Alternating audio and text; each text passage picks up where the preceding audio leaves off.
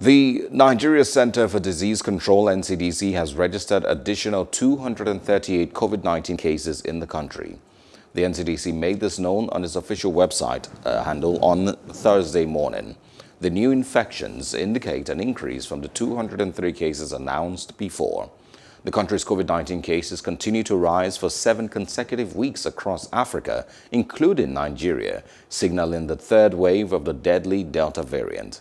The 238 additional cases were reported from five states. Hello, hope you enjoyed the news. Please do subscribe to our YouTube channel and don't forget to hit the notification button so you get notified about fresh news updates.